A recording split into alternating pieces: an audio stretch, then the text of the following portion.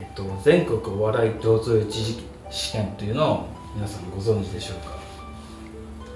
これはですねまあ20年ぐらい前にダウンタウンの松本人志さんがやっていた番組で、えーその番組内で行われた試験というものになります、テレビ上で、えー試験問題が発表されてですねでその問題用紙をこう取りに行ってそれでまあ応募してで番組上でまあ松本さんがこんな回答だよみたいな発表するっていう私が当時参加したこの紙があったので その時の問題を皆さんに紹介してみたいと思います。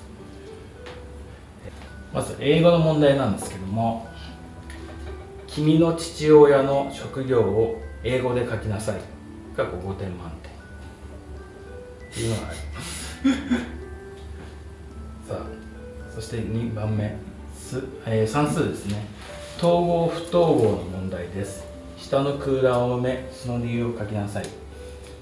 丸1アントニオ猪木。これ第2なりですか？第なり何々。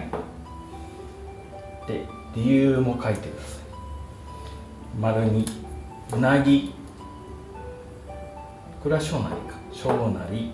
何々。で理由を書いてください3番目。原宿。イコール。